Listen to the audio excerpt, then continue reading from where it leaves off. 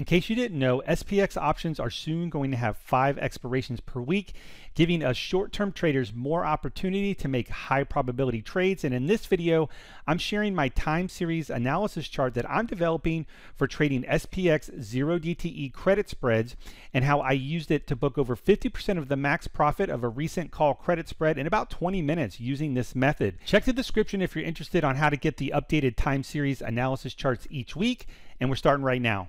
So let's look at the time series analysis chart first, and then I'm going to show you how I used it.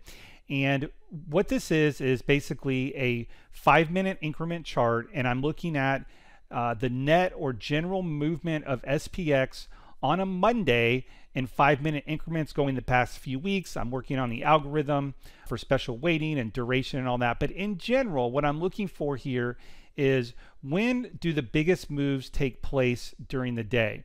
And we can see that over the last few weeks, you know, and I update this every week, and I'm going to be sending this over to my Patreon members, but I update this every week, so it will change over time. So it's it's sort of dynamic each week.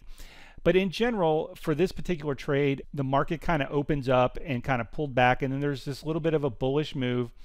But the real big move here is from the late morning, and you know I don't want to get too specific with exact times because that can be deceiving. But in general, the big move is sort of a late morning turn down into an early afternoon sort of pullback. So that's the move that I'm really targeting. I'm not going to try to target every single one of these moves because this isn't exactly what the market is going to do. Uh, the market can do different things. For example, when you see here, in the beginning, it shows that the first few minutes of the day, the market's actually up a few points. Well, in the example, you're going to see that the market actually gapped down. And so we don't want to look at this as like exact science, like this is exactly what the market's going to do. But in general, what I'm looking to do is see if I can find a good shorting opportunity and potentially go long here for zero DT SPX credit spreads. We're basically trying to establish a directional bias. Now, the other thing I'll look at is what is the sort of magnitude of these moves. So for example, the average move is around 10 o'clock. We got to move from, you know, let's call this one up to about 12. So this, this is about a 10 point move, a 10 point surge in the morning. So that's something else I'm factoring in is what are the magnitude of the moves. So a 10 point move, but this move is the bigger one, right? We went from 12 points, SPX points, down to negative 12. So let's call this about a 25 point move. That's the move that I want to try to capture and I'm going to try to capture that to the short side. So let's look what the market did this morning. In the morning, the market actually gapped down. This is the first candle of the day. And, you know, similar to what the chart was showing, that there was a little bit of choppiness and a little downward movement. And then we got this push higher. Now, this push higher actually happened a little bit earlier in the day and probably has to do with a little bit of a snapback. But if you if you think about this, about 10 o'clock, the market rallied from about 42.15 back up to 42.55. So this is about a 40 point move. So if I scroll back up, remember, I'm looking for a move up to potentially short this move was, you know, uh, let's call it 10 points, 12 points, um, and then it rolled over, but it didn't roll over till about 11. So this was happening a lot sooner.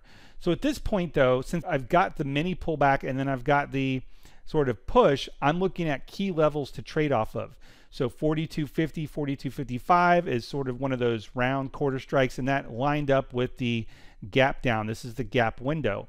So at about, uh, what was it, 1035, I sold a 4255, 4260 call credit spread, a CCS, for about 235. And the idea here was that if the market did push higher, I could, you know, if we got the gap fill, I could actually add on and, and enter a second one, which I didn't have to do because the market actually turned.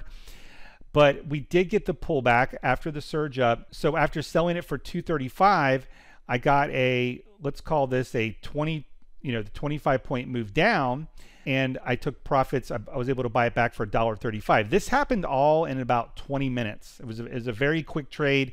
And again, I think the volatility had picked up because we had that gap down. So, so these moves can happen a lot faster. And if we go back to the rest of the day, this is what the chart looked like. So again, here was the gap down. We got the move back up and we rolled over and then eventually found a bottom. In this case, the bottom was found a little bit earlier than the time series chart, and that's okay. The time series chart had the low and move higher at about one. So everything was happening a little bit sooner. The, the, the volatility, I think, causes that. But in, you know, net net, when you look, com uh, compare that to the actual chart, it actually played out pretty well. You got a little pullback, you got that move higher, you got the early morning pullback, and then the, you know, kind of lunchtime hour move to the upside. Now this was, this move was exacerbated. I wish I could say that I, I sold put spreads here or even here and made money. I didn't. I actually I actually just took the call spread. But this is how I'm using the time series analysis uh, algorithm to help me sort of pinpoint uh, trades to get a general idea, and then I can look at key levels and other potential, you know, uh, support resistances for to, to trade off both up and downside. Hope you enjoyed the video, and we'll see you in the next one.